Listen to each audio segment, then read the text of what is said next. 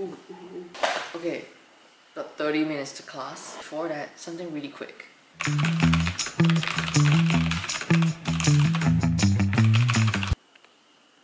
Do you know who that is? It's Nigel Zhen. Nigel Zhen. This next section right now, I want to talk about two types of people that are very important. Number one, your first best friend. Number two, your first enemy. I was the only child for two years. I was like everybody's favorite until this guy came along. Ever since like I can actually remember stuff, I remember not always getting well along with this guy. This guy was cute, he was good looking, he's likable, everybody loves him. We both were two different living species, right? With two different personalities. You could never tell that we were siblings. Besides the fact that we were kind of always together we were always quarreling and after I, I always remember that after quarreling my mom would force us to shake hands and say sorry and hug each other so that we would forgive each other and be together again. Somewhere down the line he became a very creative guy. So he set out on this path of doing youtube stuff youtube video. And during that time youtube was pretty new to us. Like this whole vlogging thing was pretty new to us. Um, even until when i was like 19, I couldn't get why he vlogged. But he still persevered on, he had his own ups and downs and you know, further down the road, he really became an inspiration to me for doing what he loves and, and saying what he really meant. Today, I went to play a national level badminton tournament. I just have to admit it. I feel inferior. I'm not telling you this because I want you to make fun of me.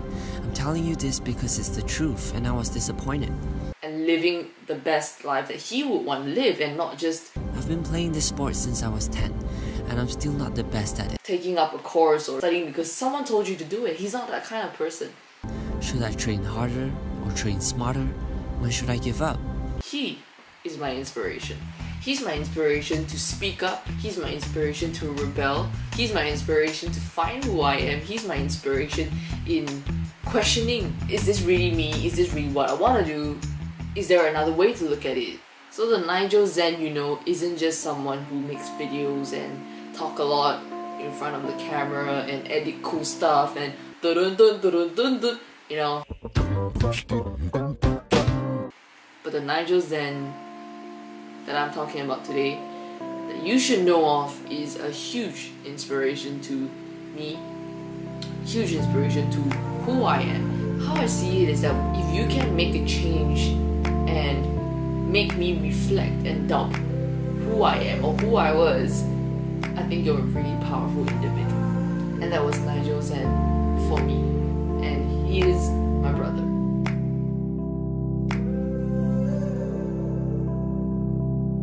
I've said it before, I'll say it again. I wish we were more than friends. You know I love the way you dress, you know I love your style. Every moment I'm with you, I can't help but smile. I've thought it before, I'll think it again.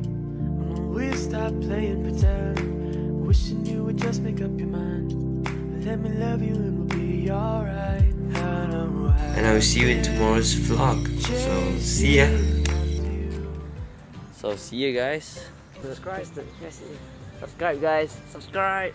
I just want to say that this is in no way a video that is trying to appreciate my brother. Because that would require so much more script. I'm sorry bro, this one's not for you. I'm just reacting to your comment. You were being really nice. This is my reply.